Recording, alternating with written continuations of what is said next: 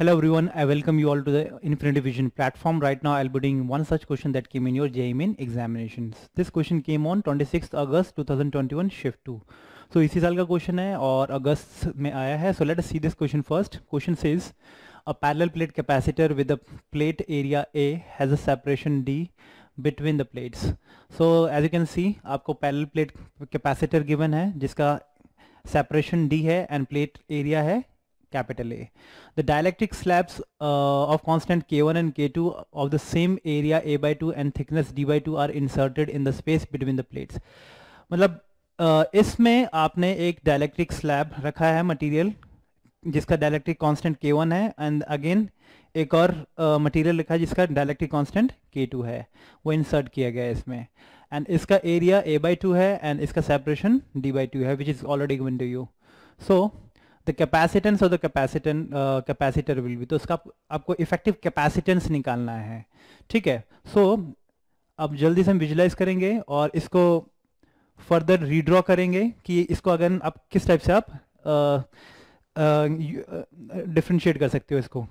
सो so, अगर इसकी बात करें पूरे कैपेसिटेंस की बात करें ठीक है? This can be in this can be classified into three capacitor एक कैपेसिटर जिसका एरिया ए बाई टू होगा and distance separation distance D by two होगा। तो कुछ इस टाइप से सेटअप बन जाएगा आपका where it is a combination of three capacitance just like this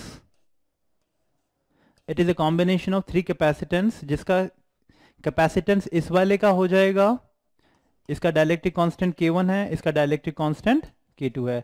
late इसका कैपेसिटेंस C1 है लेट इसका कैपेसिटेंस C2 है एंड लेट इस वाले का capacitance let it be C3 ठीक है? सो आप देखो C1 is nothing but A because इसका एरिया कितना है? A बाई टू इसका भी एरिया A बाई टू इसका भी एरिया A बाई टू इसका सेपरेशन कितना है? D. इसका सेपरेशन D बाई टू इसका सेपरेशन डी बाय टू है ना? तो सी वन कितना होगा? ए एप्सिलो naught by K K one divided by D which is D by two ये आ गया? सो so, इसको फर्दर सॉल्व करोगे तो कितना आएगा? ये हाफ़ हाफ़ कैंसिल हो जाएगा। Again you will be getting as A epsilon naught K one divided by D ये आ रहा है। अगेन इसको फर्दर सॉल्व करेंगे सी टू को। सी टू को कितना है? इसका भी एरिया कितना है? A by two A epsilon naught by D होता है। Capacitance so it would be equivalent to a epsilon naught k2 by d by 2 so again half से हाफ़ कैंसिल हो जाएगा. You will be getting as A epsilon naught K two by D this is the capacitance of these two capacitor and what about C three C three कितना होगा? ए area इसका भी half है. एप्सिल not by D क्योंकि इसका, इसमें dielectric constant नहीं है तो इसमें आप डायलेक्ट्रिक कांस्टेंट नहीं लेंगे। So A epsilon naught by D और डी कितना है? Separation D this is it so it would be equal to A epsilon naught by two D ये आ गया आपका C three capacitance now these two are in series तो again आप ये दोनों सीरीज़ में है in parallel with C three है ना? तो इन दोनों का कैपेसिटेंस इफ़ेक्टिव कैपेसिटेंस निकाल लो because they are in series तो इफ़ेक्टिव कैपेसिटेंस कितना निकलेगा? C one C two divided by C one plus C two ये निकलेगा। It would be in parallel with C three तो इसका इफ़ेक्टिव कैपेसिटेंस इसके साथ सी थ्री के साथ जुड़ जाएगा। So this is the equivalent capacitance that you need to find out अब जल्दी से वैल्यू पुट करेंगे। वैल्यू पुट करके सारा हम सॉल्व करेंगे ताकि इजीली आंसर आ जाए। सो so, जल्दी से देखो C1 कितना होगा? C1 is a epsilon naught k1 by d. What is C2 C2 is a epsilon naught k2 by d.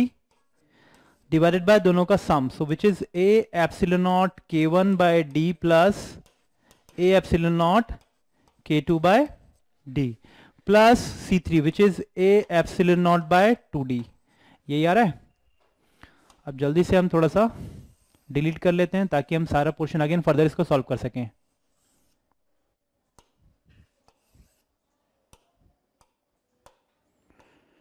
अब देखो, इसको सॉल्व करना है हमें।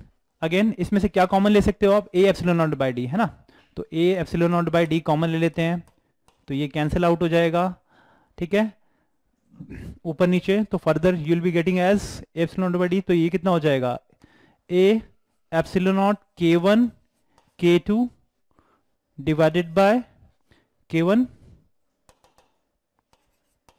K two divided by D अब इसमें से अंदर बचा रह जाएगा के वन प्लस के टू और इधर कितना क्या होगा? It would be equal to A epsilon by two D यही है? इसमें से अगेन आप A epsilon by D common ले लें। है ना? तो अब क्या आएगा यहाँ पे further A epsilon naught by D common ले लेंगे तो अंदर क्या रह जाएगा? Half plus K one K two divided by K K one plus K two यही एक्सप्रेशन आ रहा है? So this is the effective capacitance that we are getting तो फाइनली देखो कौन सा ऑप्शन हमारा सही रह गया। A epsilon by D by half plus K one K two divided by K one plus K two so first option is our correct option ठीक है थोड़ा सा लेंदी है बट आपको विजुअलाइजेशन uh, अगर आप पता है कि किस टाइप से सॉल्व करना है तो जल्दी हो जाता है क्योंकि most of the term has got cancel out तो इजिली आप कर पाएँगे। ठीक है I hope this question is clear to every thank you